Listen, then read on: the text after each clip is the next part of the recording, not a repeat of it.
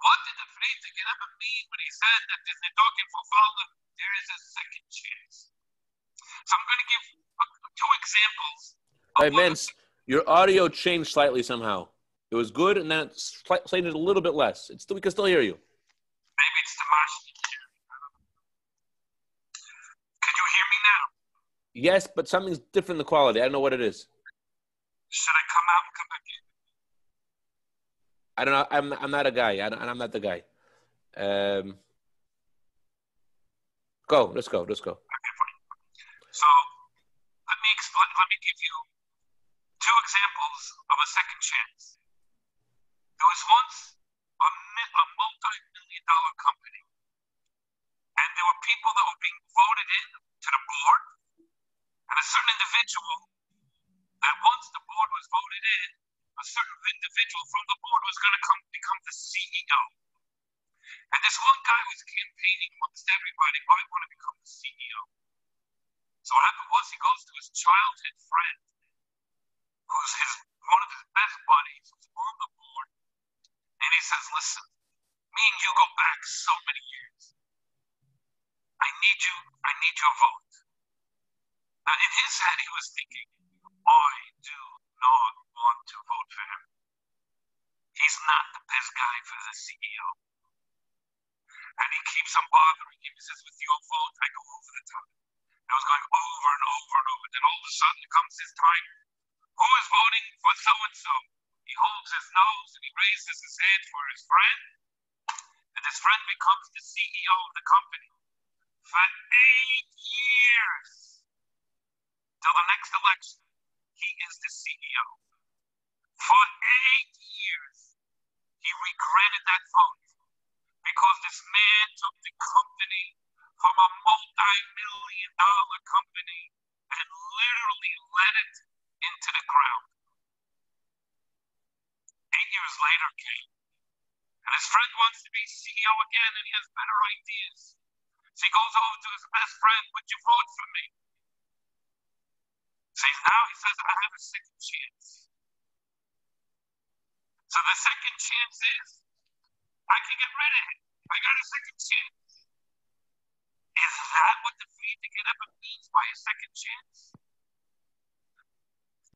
Hold that story off for a second. Another example. A guy is a baseball player. A great baseball player. He can swing for the fences. He is fantastic. His base is loaded, two outs at the bottom of the ninth and they're down by a run. They need one run to tie the game, at least get tied. His manager in the dugout goes and says to him, bunt the ball. Bunt. Don't swing. Bunt. Just, just make contact with the ball. The guys are playing so deep for you that if you hit it a little bit this way, you'll go in between the foul line and the pitcher. The guy on third base will come home. You'll be safe. You'll be on first. Fantastic. He doesn't listen to the manager. He swings. Strike one. The manager's putting the bunt sign on. The whole stadium can see. But the players in the field know he's not going to listen because he goes and swings again. Strike two. Now the manager's furious. You can we can win the World Series. Just listen to me. What happens is, and he goes and he says, huh? People are calling me the audio is bad. Let me try this.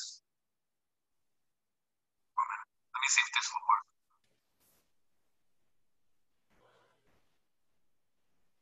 One second.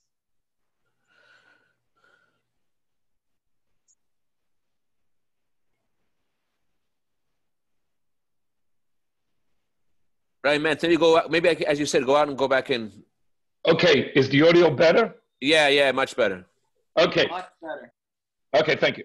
So he goes and he says, I'm not going to listen to my coach. I'm a home run hitter. I'm not going to bunt to tie the game. I'm going to swing. I don't care if there's two strikes. Pitcher knowing that he's going to most probably swing. So instead of throwing them a fastball, he throws him a curve. The guy swings, strike three. All game over, World Series over. If only he had a second chance, what would he do now? But it's too late. It goes down in history. His team lost. So, what does a second chance mean? That you get up again in the next inning, there's another game, and maybe now he'll listen to the manager? Is that what the Friede this great, great out, the great Nussi is telling me? That I'm able to allow eight years to go to the garbage, and now I have a second chance to rectify it? Is that what it means, a second chance? That next year, if I'm in the World Series, I could do better. But last year is Falarden. Is that what it means? No. That's not what the Frierdiker Rebbe says. And this is what the secret of Pesach Sheni is. When the Frierdiker Rebbe said that Nidokin verfallen, no matter how far away from Judaism you are, or know how frum you are, no matter how frum you are, the moment you do tshuva, you see, the moment you do tshuva, that's your second chance. The moment you say, I want to change, comes Chassidus and says, all your zedoinus are now zachiyos. All of your sins, which led you to do tshuva, is what made you into a better person. So you, the guy who lost eight years of money cannot be changed. The guy who lost the World Series, you can't change history. Comes the Frierdiker Rebbe and says, when it comes to Yiddishkeit, no matter what you've done,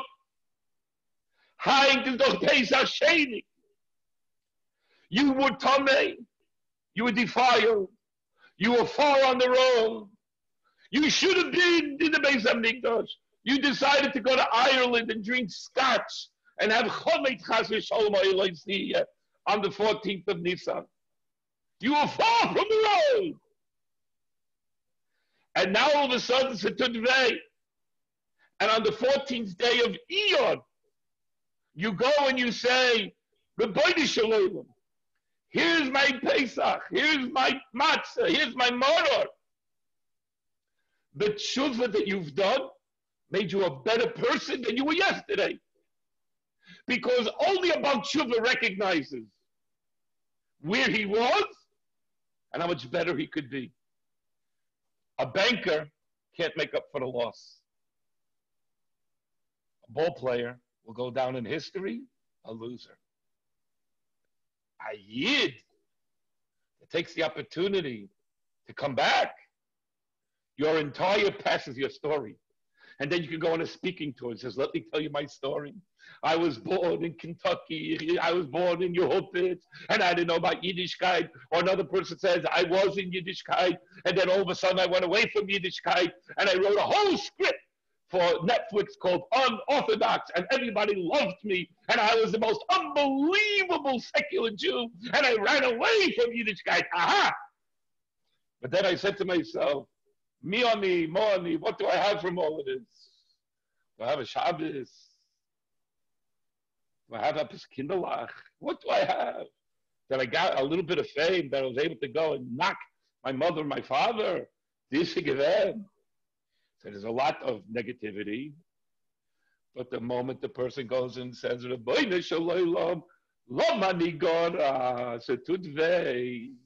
I can't leave, I can't be without you, Almighty. Bring me home. And also the story that you go to everybody in the world and says, Yeah, I was that person un- unorthodox. I was that person that grew up not himself. Whatever your story is, comes to the Frierdiker and says, That's what it means, Pesach Sheni, a second chance. Everything that you've done until now is okay. Because it's part of your story. The Mavus, the Maisa, the well-known story about the, the rock legends of Lubavitch. You ever notice we, we, talk about rock legends, you know, like they're the best in the world. To us, they're the best in the world. um, the Piamentis. It's well known that the Piamentis were in Europe. They were part of a major, major rock band. And anybody knows anything about a rock band, you're not supposed you, you don't want to know what's done on the, on the stage or off the stage, and the two of them became frum. And all of a sudden they became epis. There's no music in me anymore. I'm now wearing thousand film. So he wrote to the Rebbe, and the Rebbe said, Why can't you play music? He says, Just go. Good Chassidish. So I remember the very first time that they came out of the closet. They were not called the Piamenta Band. I don't know if anybody knows this. They were first called the Baal Shem Tov Band. They called themselves the Baal Shem Tov Band. And I remember it was advertised in Gan Yisrael, New York, come Motzei Shabbos, because we're going to have a concert. And it was Shabbos Nachmu. So what happened was, is that Motzei Shabbos, the whole camp is getting ready for a concert. People from the bungalow colonies were invited that they could come and listen. And I got to tell you something. This is Emes V'Yatzav. I was a counselor. I had Freie kids in my bunk. In those days, Gan Yisrael had both the Chassidische kids and the non-Chassidische Kinderlach. And in my bunk at that time was Baruch Epstein, who's today a shliach in, uh, I could go through four or five people. Barry Scheiman was uh, part of the camp at that time, was a shliach. Uh, Heshi Epstein was a, uh, many Balchuvas were in that room, but they weren't frum yet. They were Kinderlach. All of a sudden, this group gets on, and they're wearing these funny uh, yarmulkes which in Crown Heights we haven't seen these color yarmulkes. Now on Pico, you can see it all over the place. At the Slow, you can see these uh, funny looking colored yarmulkes. And all of a sudden he says, we're going to sing the first rock and roll song in Judaism. And I remember all the counselors looked at each other. Rock and roll song. What are you trying to be? Uh, who do we got here? And then they got onto the electric guitar and they went, uh, you got to realize something. In Lubavitch, prior to this, I never heard of an electric guitar. This is 1976, 77. And they went like this. And all of a sudden, they just stopped with a with the drum. Says, does anybody know the rock song? And all of a sudden, we're all going and saying, rock song. It sounds like electric guitar. This is mommy. What are you doing to us? And we're looking and says, what's tutzach? He says, what, you never heard of Allah Sela Hoch Hoch? It's a rock song on the rock. You hit, and out came water. And he goes, all of a sudden the drums started going, and they started fluting and everything. For four hours. Ungeschwitzt and ungechazet. The most chassidish in the Gunim. But they taught us the rhythm of the next generation. And this is what the Rebbe said. That's your story. They never went back. They took their entire past and all the things that they may have, God forbid, have done. And the beauty of what about Tshuva is, and the beauty of a person, no matter who they are and what they are. The fact that you done whatever you did, don't care about the baseball game. That you can't fix. Don't care about the amount of money you voted because you wish you had a second vote. When it comes to Yiddishkeit, your whole past becomes the story of your Chassidishkeit and your Yiddishkeit. And that is what the Frierdiker Rebbe said. When it comes Pesach Sheni, you're on the road. So what? That, from there, is where the Dira B'tachtoin comes from. It's from there your Nefesh Bahamas transforms into a Nefesh Elikus. You don't need to worry about the past because the past is going to become your present, your future, and your reality. Which is which is a vort in itself that the Almighty gave each and every one of us chushim. He gave us the ability to play music. He gave us the, the ability to do art. He gave us the ability to write. He gave us the ability to do all of these things. In many other places in the world, they tell you don't do it. The Rebbe goes and says, Das is dein avoida. This is your work. But Rabbi, Rabbi, I went to college. Rabbi did this. Rabbi did that. Comes Pesach Sheni, and the Abishter goes and says, "Come to me." In a few moments, I'd like to take a break, a niggin. Now that I taught you what the second chance is, the bigger question is, why did they say Lomani Goda? Why are we being left out? Because if you really hear the Sikha from the Rebbe, it's kind of chutzpah to say the words, Lomani gora, L'chaim. L'chaim, l'chaim. Allah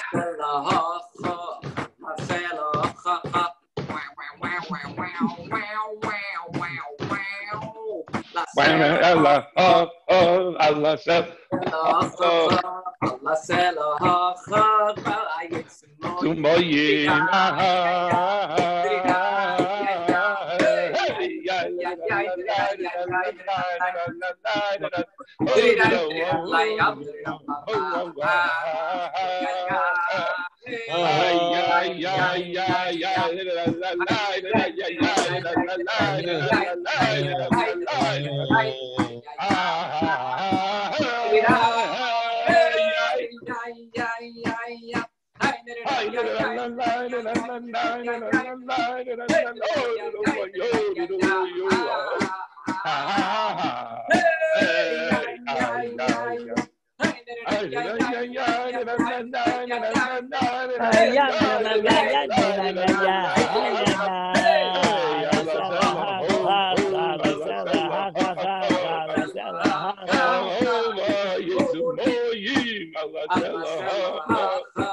Marcelo, Marcelo, Marcelo, Marcelo, Marcelo,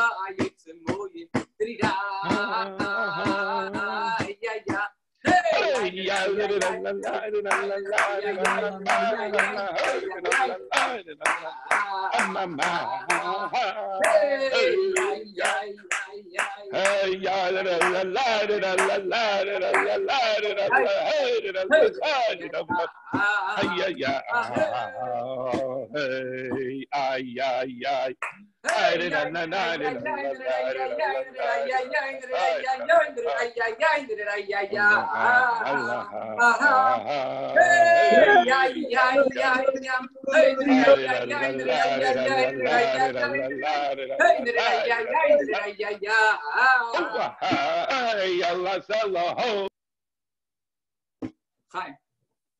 Rabbi uh, Yoey, can we hear a live version of the uh, your new niggin, the brand new niggin that just came out tonight?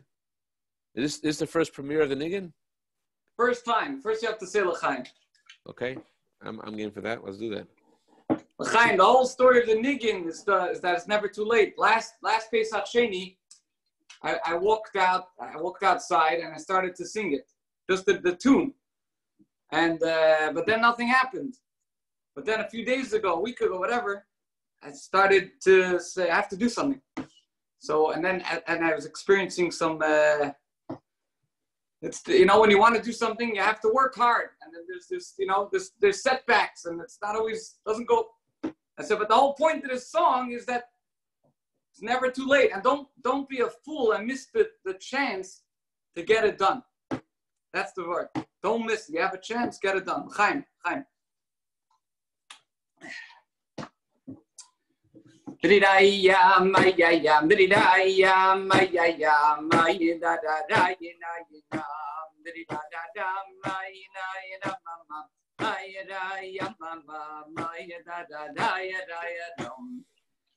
This is when life is good. The first part, I think, is when life's good, I'll just say that at least you think it's a, you think it's okay.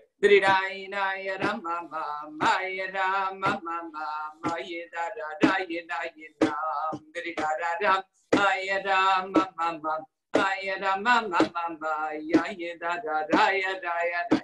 And It's a mom, you have a setback, you have a, a challenge in your life.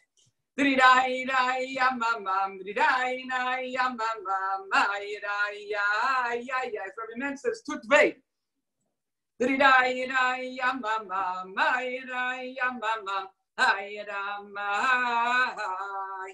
It's Pesach Sheni. Don't be lazy. You got you got another chance. It's Pesach Sheni. Don't be lazy. You got you got another chance.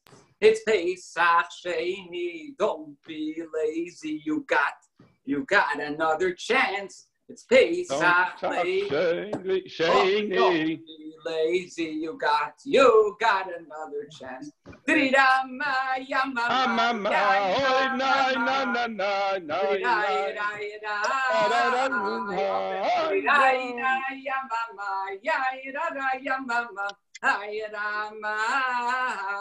It's Pesach Sheni. don't Don't be lazy. lazy, you got you got You got another another chance. Shiny, don't Don't be You lazy. got, you got another chance.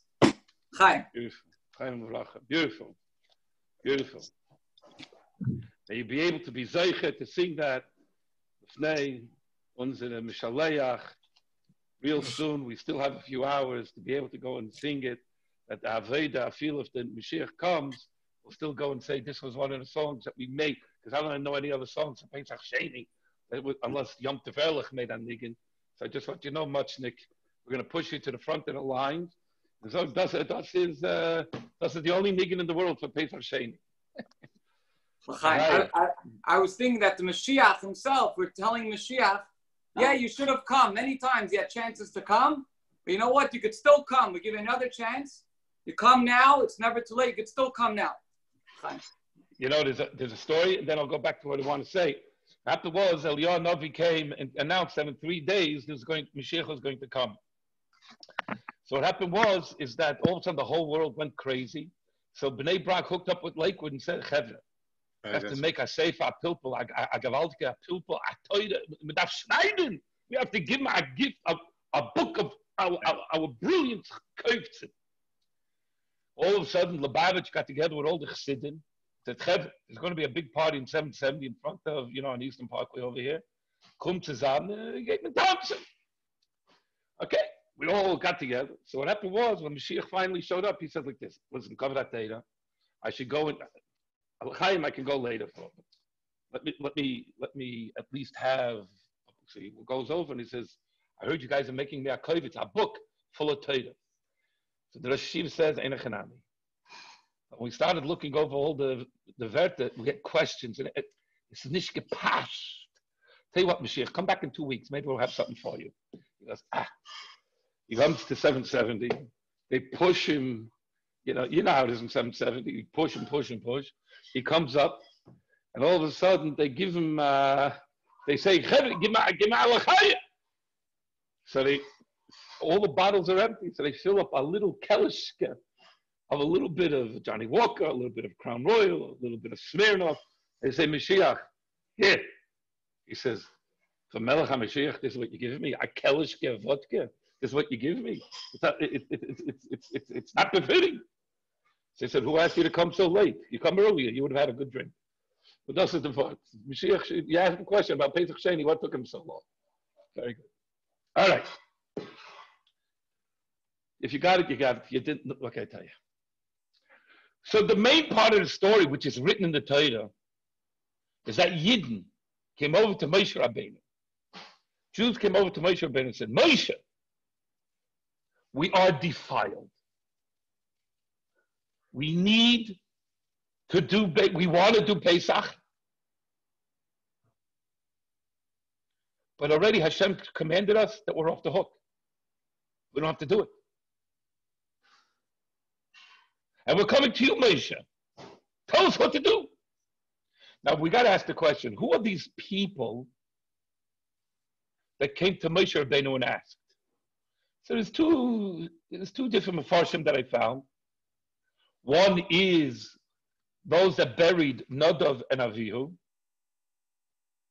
They went, and they, you know, they didn't have the maybe the paraduma, whatever it took. They didn't get what they needed. Others say these were the ones that were carrying the bones of Yosef, which I have Shilas on, etc. I mean, Yosef, the bones of Yosef, how you metama anybody, but I'm not going to get into that. Anyway, that's what the Medrash says. It was the people carrying Yosef, they were Tomei.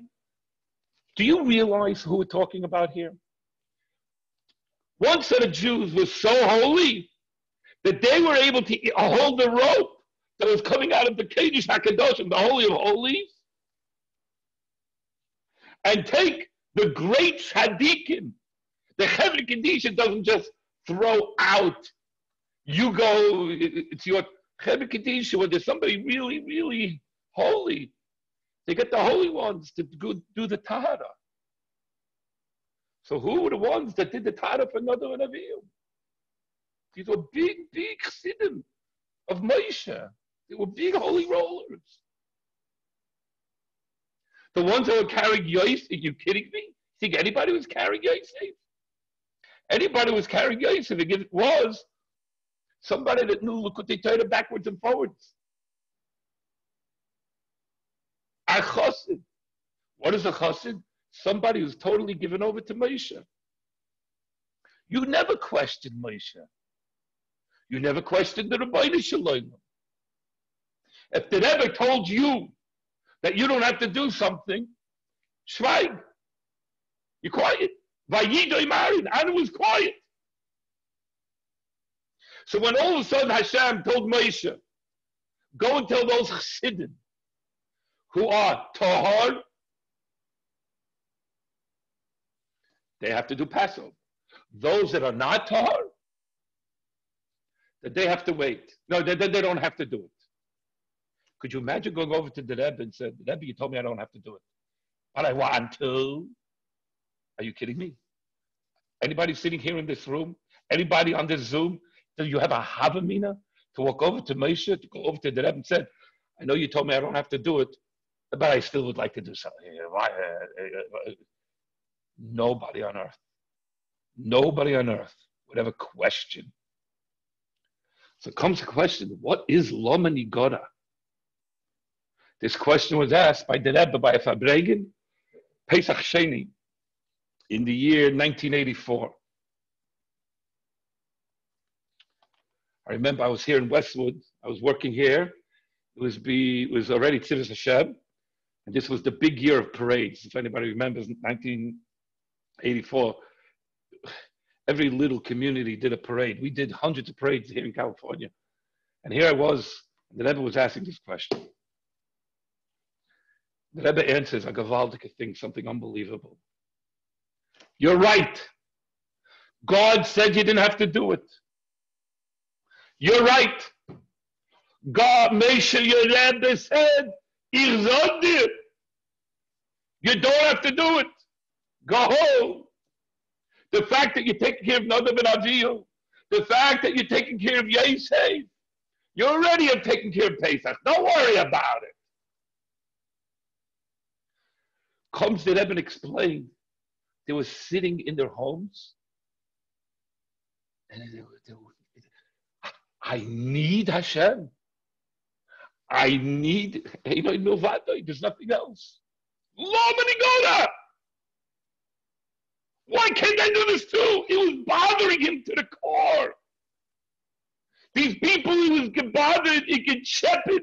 Not that they went over to the I know you told me no. They came bawling their eyes out.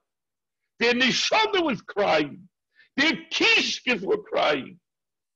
And they were saying, Lama Nigora, why can't we bring a korban? Which Chassidus means comes closer to the Almighty, comes closer to the Body Comes Moshe and says, Whoa, I never saw such oidus from any yid. Azat shukya, such a desire, such a geshrei. I don't know how to answer you because I'm Moshe Rabbeinu can only answer to you what the Abishter gave to me. So even Moshe Rabbeinu had to go and say, "You stand here. I got to go to the Rabbeinu Shalom."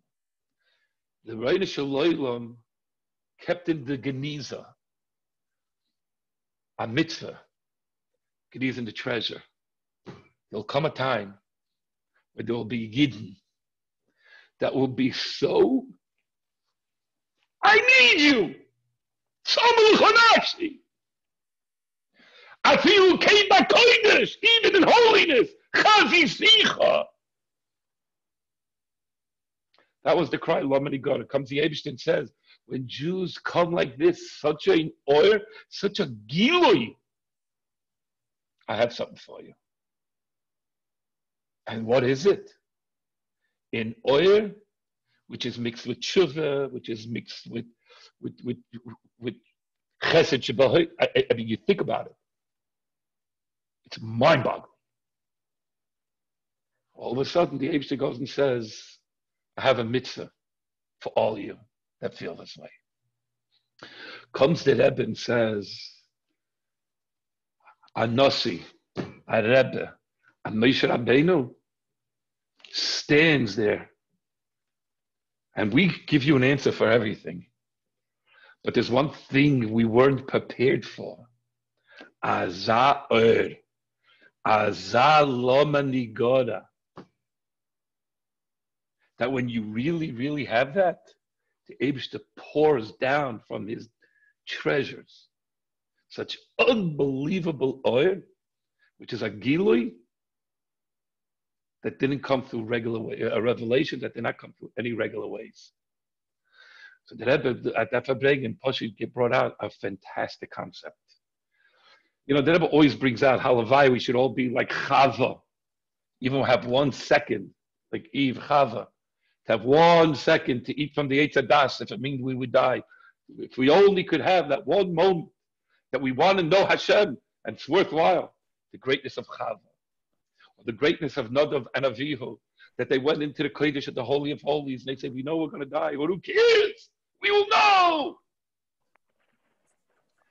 These Chevra weren't going into the Eitz Das. These Chevra were not going into the Holy of Holies. What were these guys going for? Lo Manigoda, my kishkis. The fact that I'm Tomei, that has nothing to do with my Etzem Neshama. That has nothing to do with my connection with the, with the Almighty. This is something. what do you want from me? Lo Manigoda. How do I get out of Egypt? How do I get out of whatever? How do I connect to you? That I can bring a korban. Hashem says, ah, this chavlid. What the Rabbi Shalom did, what the Almighty did was, he immediately went and revealed Oedis. Each one of us have to realize at a very high level, but not really. Let's think about it. Every once in a while, we do sit down and we go, we hear, you know, I saw a shliach do X, Y, and Z. Why didn't I do that? I didn't do. I didn't. Or sometimes you're hearing during this whole Corona thing. There's a shliach. He does four classes a day. Or this guy, he took a truck and he went in front of someone's house and he said happy birthday these are little things that we hear from everybody else. And we ask, why wasn't that inspiration in me? Why, Lomini God, oh, I wish I had this. If you really cry, it really bothers you, there'll be an inspiration from your Moshe Rabbeinu through the Abishter, and you'll have kol, keches, all the energy, all the energies that you need from the Almighty through our great Rebbe and there's nothing you can't accomplish. You know, they say jealousy is a bad thing, but jealousy is also a good thing. Jealousy that someone else is tarbe chokhmah, that some kinisaf and tarbe chokhmah, that somebody else is learning more than you, and you're jealous. How I wish I could do like him. Is a good jealousy.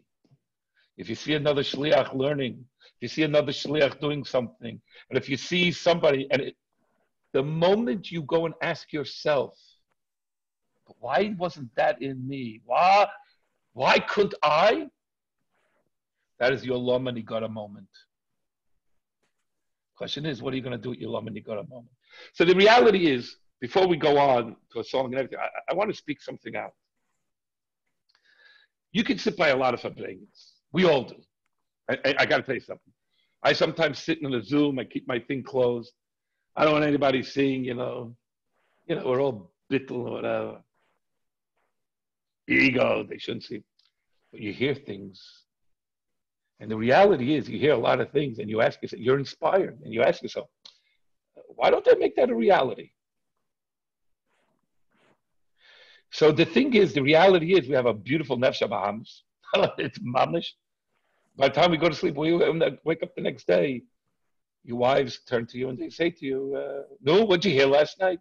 I said, "I heard an unbelievable story. You should, this does this." Okay, very good. You told it over. You got on to your routine, and you totally forgot about it. It's exactly what the Yetzer wants. The Lomani God has to be. You could change yourself. And I thought, I said this I think a few years ago at the Farbrengen by uh, by your shul, that the whole avoid of Yud Tes Kislev, the whole avoid of Tanya is, is to be an Ovid. You have to work on yourself. When you realize there's a great program and you didn't jump all over it, why? Why didn't you jump all over it? Why didn't you jump all over it? And the answer is because I didn't work on myself to make sure it happened. That's the bottom line. You, are going to come up with a thousand excuses. I, I had to cover the bank. That the, I got to be honest with you. Lag Ba'omer is coming. I'm a guy all my life doing Tzivos Hashem. Lag Ba'omer was a day like there's no tomorrow. My daughter got married on Lag Ba'omer. She and her husband haben Kinderlach and Dalgut Zachen. Bnei Chaim Zayna Revicha. Amen. And Lag Ba'omer is coming. But we was I in Lag Ba'omer. My daughter's getting married, very nice. But where was I? I was by the parade. Why was I by the parade? What are you talking about? Why, why was I at the parade? Where else are you going to be? Taking pictures? Now, there's nothing wrong taking pictures. This is your daughter's wedding. But you could spend a couple hours. The wedding's not until four or five hours. By the way, they don't need you anyway, the makeup lady. They don't need nothing but you. So here's like Boima we have the unbelievable intellect in our heads. And I'm telling you, over the next two, three days, I'm you're going to be you're going to be screaming, Lomini God, why didn't I think of that? Or, I heard about it. Ah, it's so easy, I could have done it. And so many of us may be confident sitting, or some of us, I hope not a lot, two, three shluchim said, it's Corona. What do you want? You want me? I don't want my people thinking I'm crazy. So let me tell you something. There are phenomenal ideas out there. One shliach is making a, a big truck, and he's going with cars and telling everybody. By the way, the conservative temple, Al Tiftach Peh, to the Satan, but the conservative temple on uh, Ventura Boulevard for Hay Ear they told all the congregants, get in a car. You're home anyway. Park on Ventura Boulevard. And, the, and it's going to go through the parking lot. And they went all along Burbank Boulevard. And they came out North Hollywood. And they had hundreds of cars. And they said to everybody else of their membership, if you're not in the car route, you have to come out on Ventura Boulevard. And mit dem an Israeli Day Parade. You're telling me that they know better than us what to do? They've been working on it for weeks. We're the parade people.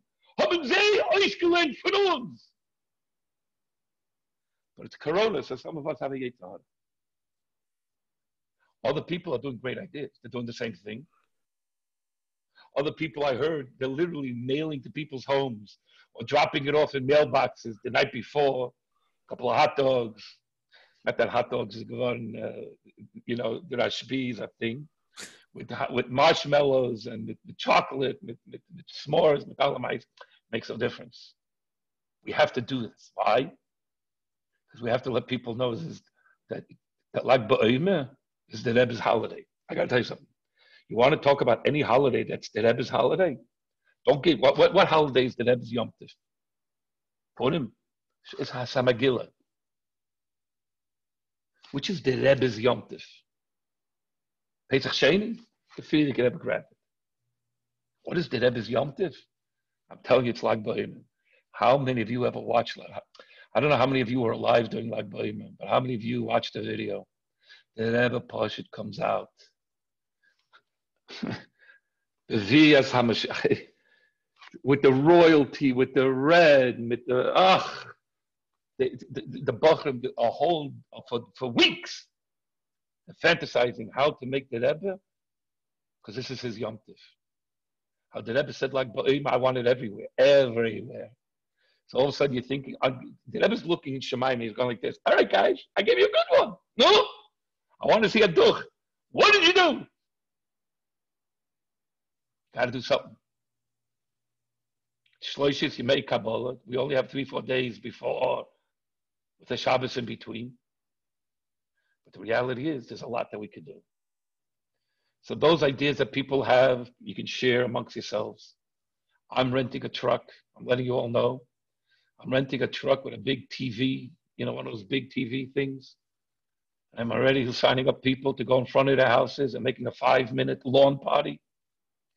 We'll have a story of Lag Beimer. We'll have the Rebbe singing, you know, uh, by the by by by the Lag Beimer parade for a minute. Uh, a funny uh, game, and every single person We'll get the hot dogs and the s'mores. You know what I'm saying? But they'll all stand in the lawn. We'll do the six feet. Aber mit Afton. So long ago, why did I think of that? Because that was for me. Maybe it's something else. Maybe you can still do it.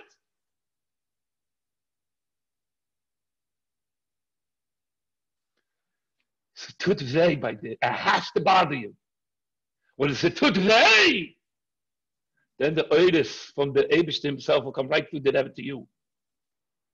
And the Rebbe will give you enough brachis. You know, I, I got to be honest with you. You, we both know it. This is, I know Mendel Duchman says, now is the time to fundraise. Yeah, how much money are we getting in our Chabad houses? Are you kidding me? It's the hardest time to fundraise. The people of your preschool are complaining to have to pay the full tuition. You know what it is. Or if some of us are part of Beis Mitzal, you're already screaming, I hate Menachem, got to pay the full tuition. Yeah, so to run such a truck, it's close a podala.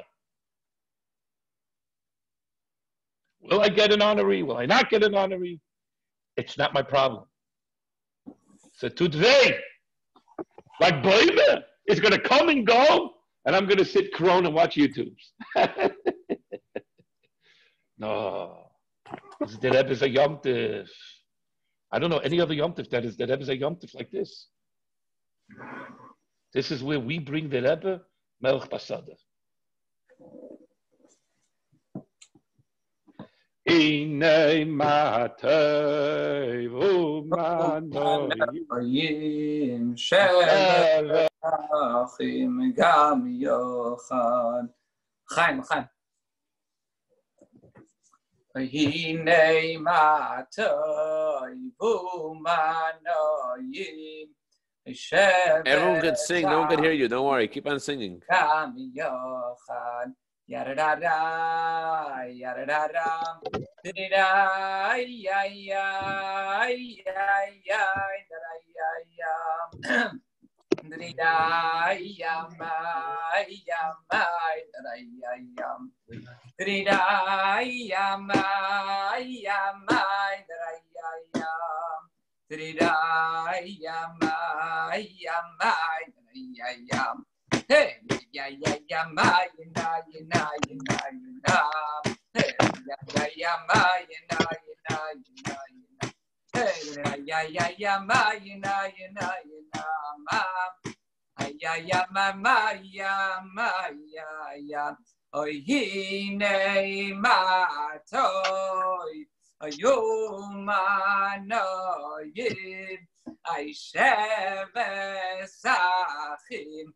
גם יוחד, היינה ימתוי, היום הנבויים, הישב סחים, גם יוחד, ימממם, ימממם, Trina yama yama dara yama Trina yama yama maramaya Trina ya ya ya mama ya ya Trina ya ma ya ya ya ya Hey ya ya ya ma ya ya ya ya Hey ya ya ya ma ya ma ya Hey ya ya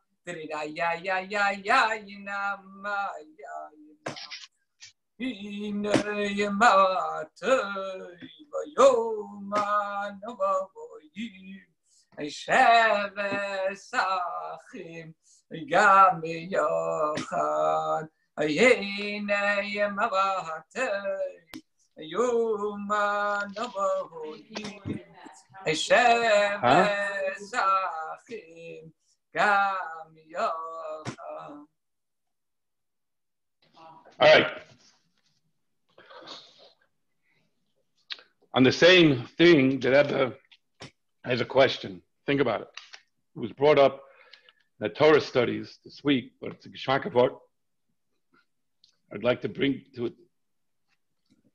The Rebbe goes and says, if you think about it, when the Jews went and said, Goda, what does it mean to you and I? The reality is, how many mitzvahs are there in the Torah? 613. How many of them can we actually do today outside Eretz Yisrael? Outside uh, about 270. I think it's, uh, yeah. How many can we actually do on a day to day basis? It's about 79. I mean, you have Pesach, you have Rosh Hashanah, and Kippur. How many mitzvahs does I have from a yid are we? So the Rebbe goes and says that if you look in Rashi, Rashi goes and says that Pesach Sheni, why is it not at the beginning of Chumash Bamidbar, the fourth Chumash? Why is it somewhere hidden in the middle? It's out of chronological order. So Rashi goes and says, because Pesach Sheni is an embarrassment to the Jewish people. An embarrassment? How could it be an embarrassment? Yidden wanted to do it. Why would the Rashi go and say it's an embarrassment? So the Rebbe goes and says, tell you why. For 39 years, for 38 years, the Jews did not do Pesach at all. It didn't bother anybody in the whole desert to go scream, Lamani Gada. And not one person through the whole desert. It says in the Torah you do Pesach when it comes in, when you come into Eretz Yisrael. Once you come into the Holy Land, that's when you start doing Pesach. Hashem said the first year, okay, I want you to do it anyway in the desert. So once Hashem says we can do it in the desert, maybe there's another year. Nobody fainted in the whole land of the desert for 38 years. You know the story with the Chafetz Chaim.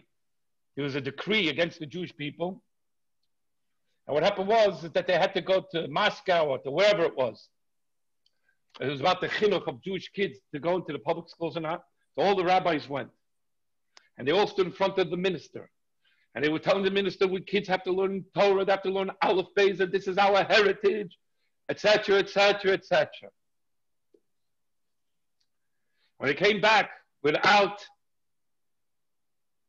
the truth happening, without the law changing, they came to the Chofetz Chaim. They said to the Chofetz Chaim, "We tried, but he didn't listen to us."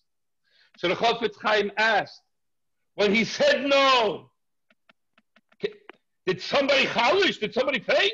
They said no. He said, "Can get chalish?" Nobody fainted. And he realized it wasn't important to you. Because if it was important to you, you would have fainted. How can I go home? How can my child go to public school? So on that same note, because the Rebbe brought that example up once about Eretz Yisrael giving back land. So on that same note, I can, I, am trying to bring it to the desert. For 38 years until they came back to the Holy Land. It didn't bother anybody. You felt it's okay not to do a mitzvah. Say la If God doesn't want me to do a mitzvah, uh, very good. So comes the Rebbe and speaks in different places that it's very easy for a person to become very complacent. And we don't do mitzvahs. I don't have to. I don't have to. The moment we become very complacent on anything, it's not for me. The moment you become complacent, Hashem says it doesn't bother you. Then why should I help you do it? The Zayin in Golas is Golas. It doesn't bother you that you this past year came and you didn't do a Korban Pesach. Keine gechalished. There was no Lomani Goda. Comes Rashi and says this is an embarrassment. It's an embarrassment. Comes the Rebbe and says to the Jewish people, we have to. The Rebbe wouldn't go and say Chas Hashem, that it's an embarrassment to us. Just the opposite. The Rebbe would turn it around and say to each and every one of us, you didn't do anything about it. Don't you want it? Don't you want to live as if Mashiach is here? Is it that tunvei that you didn't have a chance to go and bring a korban this year for Pesach? Al derech same thing is, you had a chance to go and put tefillin on a Jew, and you go, you know, I'm not a shliach, I'm a plumber. I'm a plumber. This is business. I should go and talk to the guy about putting on tefillin. Ah, shliach will bump into. What, what are you kidding me? The only reason why you got the plumbing job is to put tefillin on the guy. I'm telling you. Every, huh? Because Tati, he just like fell asleep with it in your room. So I just took it. Well, it's technically on, but like I'm not. Uh, somebody mute the the, the uh, all the whatever's. All the Anyway. plumbers. All the plumbers, exactly. We got to clog up the pipes. The thing is, a guy goes. I, you should know something. Just about. I don't, I don't know if anybody has American Home Shield. When something goes wrong, you call them up for 35, 40 bucks. They come to your house and they fix it. There's always a Russian. I'm telling you. My my my uh, my dishwasher breaks because some Jew has to put on tefillin. That's I, I'm telling you, it's the only reason why it breaks. Because every single time it breaks, the guy comes to my house and I said, "Where you from? Kiev.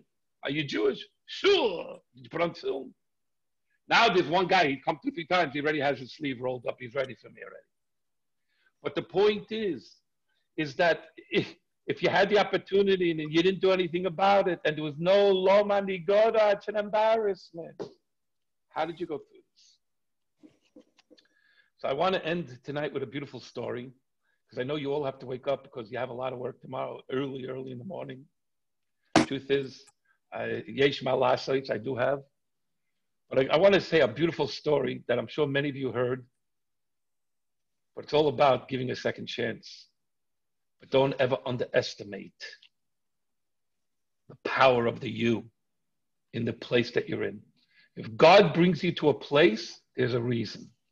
Do not think for a second that your stam just showed up there. So there's a famous story of Rabbi Shochat. I think his name is David Shochat, Emmanuel Shochat. Anyway, Rabbi Shochat was asked to go and speak to a bunch of religious people, all goyim. David, David Shach. David Shachat, yeah, David Shachat, yeah. to go speak, all goyim in Buffalo, New York. He writes to the Rebbe, the Rebbe says, yeah. As he gets closer, he says, what am I going to talk to these people about? Sheva mitzvah b'nei noyach. What am I going to talk to these people about? So he Mamish didn't know. So he wrote to the Rebbe and he asked the Rebbe what you do. So the Rebbe said, there's a universal thing to talk about. Go, go talk about tzedakah. Tzedakah is a good thing to talk about. Just talk about tzedakah. So he, Rabbi Shachat didn't ask the Rebbe, and what should I talk about? That would be chutz. Okay, let me figure it out. So he gets his chance. It's in a it's in a, um, a conference room in a hotel. He comes down, takes the takes his place on the podium. He starts speaking about charity. And then he tells a story. How- Why he told the story, he doesn't know. But you know how the Abishter works. You know how the Rebbe works. Everything is, I put you there, do the shlichus. He starts telling over a story that there was once in a city, many, many, uh, a couple hundred years ago, there was uh, maybe a hundred and something years ago, there was once a city. And there was a very, very rich man. And people would come to him for tzedakah, And the man was a miser. A nickel you couldn't get out of him. Nicht kein nickel, not a not even a rusty penny. Nothing. Go nicht. One day, as it all happens to many of us, not us, but the people, he passed away. When he passed away, his children go and says, we'd like him to have a chosheва, a nice place in the cemetery. So they went and said, your father cannot go into a nice place.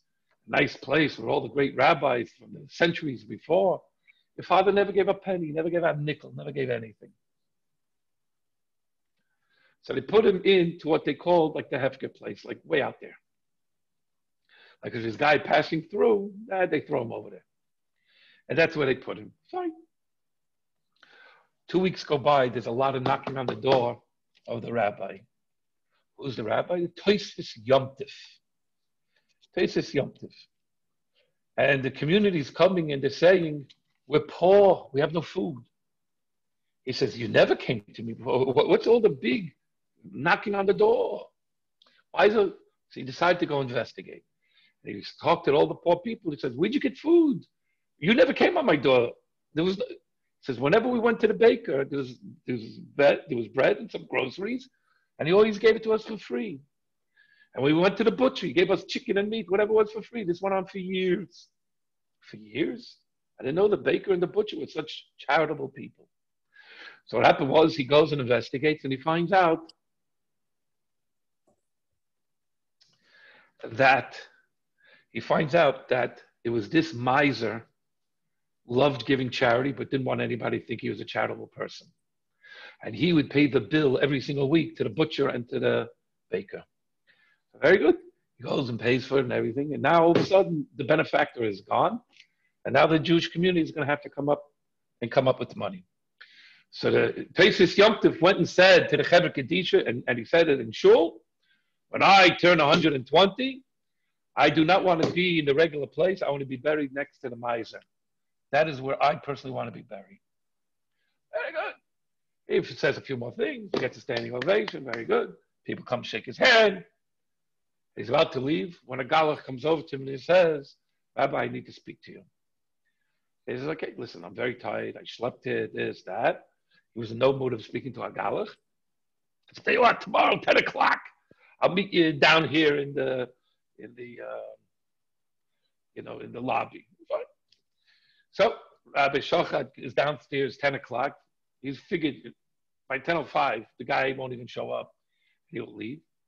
By the time he came down, it was 9.55. Already the Galach was sitting there. So he walks over to him. He says, hello. Very good. No, no, no. So the Galach goes and says to him, please tell me the story that you said last night. He says, which story? The story about miser. Tells him over the whole story. And the Galach starts crying. He says, I must tell you. My mother's a Holocaust survivor. What happened was she married my father. A a goy's goy. He didn't say a goy's goy, but you know, Svijanuns. And he brought me up in the church. I never knew anything. When my mother was dying, she comes over to me. She says, Come over here. I have to whisper things in your ear. She whispers in his ear. He says, I want you to know that I'm Jewish. He says, Ma, what do you mean you're Jewish? He says, just listen to me. I don't have much to live. He says, when you find out that I'm Jewish, you want to ask anybody, I'm telling you that my mother and her mother and her mother all come from a man who's buried next to a man called the Toisvis Yomtiv in such and such a city. There's a miser there and he's buried next to him. That's who you are. You're from him. So he says, when you told over the story, he says, it brought me back to my mother on her deathbed. I totally forgot about it. But now that you brought it up, I would like to look into it. So Rabbi Shachat says, if your mother is a daughter to the daughter to this dude, then you're 100% Jewish. And mission control, we have issues. So he stayed a little bit longer. He made a few phone calls to relatives. Kachoya, he found out what he needed to find out. He's 100% Jewish. And he's taka related to this guy. Rabbi Shochat said, "Listen, I don't live here in Buffalo, but there's some phenomenal people that." And he didn't live in Buffalo. either. He says, "Where you are, I'll get in touch to our shliach there." Called up the shliach, and he, he said, "But what do I do? I have a big mega church. I have so many people. Uh, You know who I am?" He says, "No, I only know that you're a Jew. It's time to come home." He says, "You're right." He goes home. He speaks to the rabbi. The more he spoke to the rabbi, the more he realized that his etzem haneshama, the essence of his soul, was coming out. And he recognizes why this rabbi had to speak that night, which we now know is the Rebbe's Amais. Anyway, Rabbi Shochat had nothing to do with the priest. Many years go by, 15 years go by. Rabbi Shochat was in Yerushalayim for a bar mitzvah. He gets a patch on the back. And there's a guy with a beard. He says, Rabbi Shochat. He goes, Yeah. He says, I want you to know. You remember me? He says, Who are you? He says, I'm the Galach. I'm the priest. He says, I now here live with a, a wife, and children. I live here in Yerushalayim. My dear friends. Rabbi, Rabbi Mentz. Yes. Oh, I know there's one more part to the story before I finish. Rabbi Shochat found out later through genealogy that he is Taka, a son after a son. He's related to the Toisis Yomtiv. So the son of the Toisis Yomtiv brought the miser's son back to Yiddishkeit. And that was a beautiful thing, etc., etc. Yeah, you wanted to say something? That was what I wanted to say. Oh, very good. So I want to say to everybody, you don't know why you're sent to where you're sent. You don't have to be a shliach. You're a plumber and you go to a plumber's home. You're a secretary and you have to go to lunch with somebody. You're a person who's a lawyer. You're a person, whatever it is. You're on an airplane and you're sitting down a seat and a half away from so and so. Do not think that it's random. Hashem turned over mountains, made a Kriyas Yam Suf that you should be the one to go over to that Yid and give him and spoon feed his Pesach Sheni. And do not be surprised how good you will feel. And you're going to scream, Loma Nigara. Why don't I do this more often? Why don't I have this yummy feeling more often? So, everybody, it's easy to be motivated. It's easy to have a geschmack. It's a little harder to go and think about it and make it part of your kishkis. The loma nigara scream is, why am I being left out? It should bother you. Pesach Sheni. May each and every one of us enjoy the second chance because it's not like the banker and it's definitely not like, not like the baseball player. You'll transform that whole choice from before Zedonos Na'asu to merits and to brachas. And that is your new story. Welcome home, everybody. God bless you. Thank you, Rabbi, for inviting me to your beautiful community. And may we all have a beautiful Shabbos and a beautiful going into Shabbos. And may we all merit that we'll stand together with the Rashbi, together with the Nesi Doreinu, leading the entire parade of everybody out of Golos.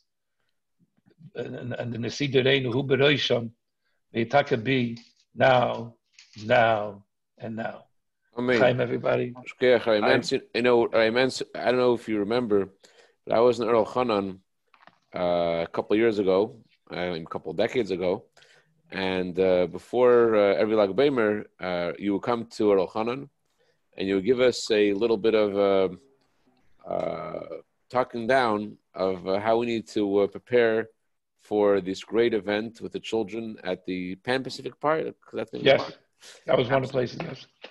So so as a yeshiva student, we were very interested in giving out the sandwiches because um, you told us that we could have the leftover sandwiches, and the sandwiches lasted us from like a Bamer until the end of the year. Everyone had a, had a little fridge, and we gave out lots of sandwiches, lots of kids came. But there was one instruction you gave us there. I don't know. You probably remember this because you gave the same exact words in the two years I was in yeshiva, three years I was in yeshiva. Same exact words, three words. Yeah, same exact words, three years I was in yeshiva. And they were like this Tell the children, after they wash, to throw away the paper towels. They shouldn't throw it away like Michael Jordan at a distance. Three point, no, I'm sorry, at uh, Mike Magic Johnson at a distance, Right. three pointer. Instead, it should be like Michael Jordan should be a slam dunk, slam dunk. So I just want to emphasize that we're not looking for three pointer shots. And you say Lamin Nigara, it means something specific that we could do that's in our hands. That it's like, just like a slam. You used to do a slam dunk, you do it and it's done and you did it. So Derek Right. similarly, Lag Baimer is a day that the Rebbe, as you said, it's I, I totally, I, I've seen that and I know that. Um, the Rebbe told my grandfather before Gulon Shalom two different times.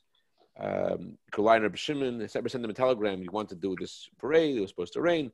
Kalai Rebbe Shimon, and I was there. I was a child. I remember it was supposed to rain. I had my sign. In those days, people didn't really know how to make signs in Worcester in the uh, Shiva there. So I had, it had these splinters in my hand from the sign, carrying the sign. Everyone should put on film. I was like, I don't know, five years old. And I remember it's starting to rain. And all of a sudden, cloud up to the line of Shimon, clear sky. The parade was, I'll never forget him. I was a little kid. I, I, like, imagine you were about Kriyas Yam, so if you remember it.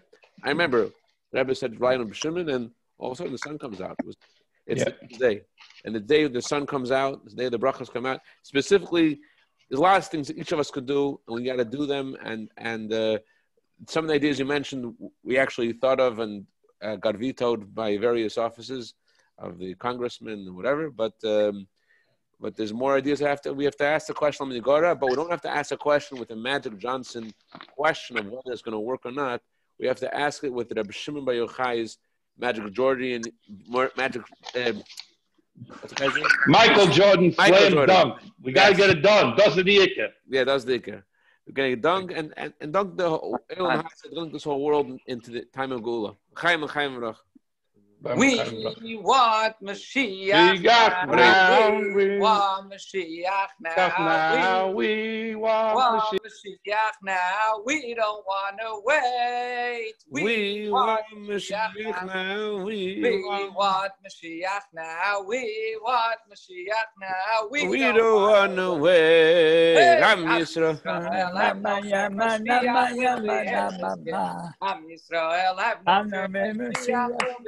fear. Mashiach will be here this year. Yisrael, have no fear. Mashiach will be here this year. We want Mashiach now. We We want want Mashiach. Now. We want Mashiach now. We don't want to wait. We want Mashiach now. We want Mashiach now. We want Mashiach now. We don't want to wait. Am Yisrael, have no fear, Mashiach. Hey, Am Yisrael, have no fear, Mashiach We'll be here this year. We want Mashiach now. We want Mashiach now. Want Mashiach now. We don't want to wait. We want Mashiach now. We want Mashiach now. Want Mashiach now. We don't want to wait. Chaim. Chaim, Chaim. Shkoyach Chaim Machnik. Chaim, Shkoyach Chaim for joining. Is, is Rabbi Gottlieb still on? He's probably, he looked pretty tired when we started the Farbrengen. He's probably sleeping already. Rabbi Gottlieb, you still there?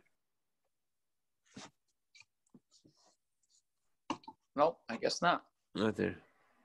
All right. I see that our friend Ariel from Chile is uh, conked out. Baruch Hashem, he's for bringing since I don't know what time this afternoon. Baruch Hashem. Um, is the day Rabbi Shimon Chai says, Caroline Rabbi Shimon. Whatever's going on till now, it's a month of Iyar, it's a month of Brachas, where Hashem says, I am Hashem, your healer. Difference between the healing that comes from Hashem, the healing that comes through a doctor, is that the healing that comes from Hashem is in a way that it's as if it never happened. Ani Hashem Rofecha, the acronym of the month of Iyar, I am Hashem your healer, is the end of the pasuk. The pasuk starts with all the diseases that happened to the Egyptians. I won't give it to you. I won't give it. It means it, there's nothing that's there.